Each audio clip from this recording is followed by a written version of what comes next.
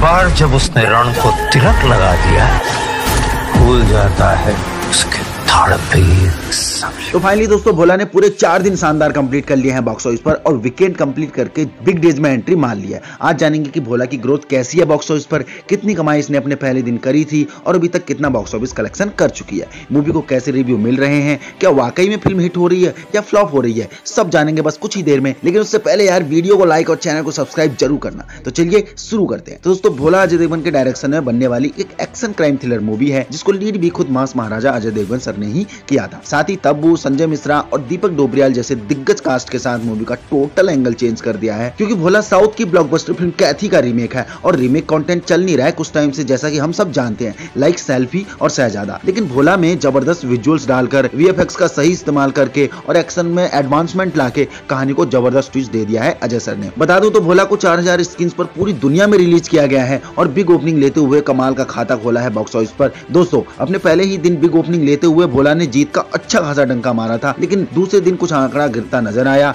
जो कि एक पिटफॉल साबित हुआ बॉक्स ऑफ़िस कलेक्शन के मामले में। लेकिन तीसरे दिन तुरंत आंकड़ा चढ़ता नज़र आया और सभी हेटर्स का मुँह बंद कर दिया। और कल यानी डे फोर में तो भयंकर ग्रोथ दिखाई और सॉलिड नंबर अपने खाते में लेकर आया भोला, जो की अपने पहले और तीसरे दिन के नंबर से हाईएस्ट था। बता दो तो दोस्तों, अपने पहले दिन में भोला ने ग्यारह करोड़ चालीस लाख का स्ट्रॉन्ग होल्ड किया था, जो की एक इतनी बड़ी ओपनिंग नहीं रही, लेकिन हाँ सौ करोड़ के बजट के बनने के एंगल से देखा जाए तो बेस्ट ओपनिंग थी। फिर दूसरे दिन तीस से पैंतीस करोड़ तक आंकड़ा गिरा था और लगभग सात करोड़ का कलेक्शन किया था। इसी के साथ तीसरे दिन भी फिर बाउंस बैक करके लगभग 12 करोड़ का कलेक्शन किया था और शुरुआत के तीन दिन में ही total India box office collection 30 crore 70 lakh के आसपास कर ली थी। लेकिन बात करें कल यानी डे फोर यानी इसके फ़र्स्ट संडे की at the box office and cinema hall तो दोस्तों रिकॉर्ड ब्रेकिंग नंबर कलेक्ट किया है अपने चौथे दिन में भी। जी हाँ पंद्रह करोड़ का बिग कलेक्शन करके शुरुआती चार दिन में total Indian box office collection लगभग पैंतालीस करोड़ के ऊपर पहुँचा दिया है। वहीं वर्ल्ड वाइड बॉक्स ऑफ़िस की बात करें तो अभी तक का कलेक्शन अपने चार दिन में सत्तर करोड़ के ऊपर पहुँचा दिया है। दोस्तों बोला तो हिट होने से कोई रोक नहीं सकता। मूवी को काफ़ी अच्छे रिस्पॉन्स मिलने हैं पब्लिक की तरफ़ से।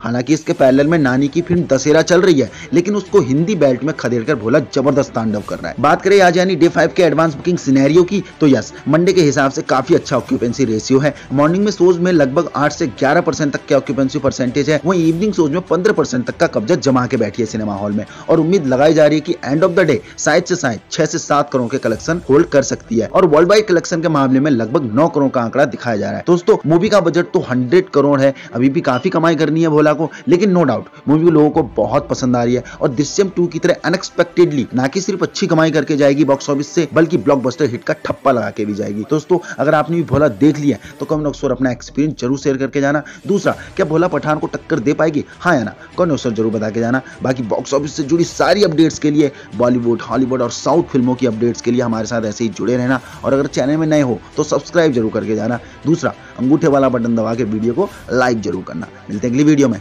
जय हिंद।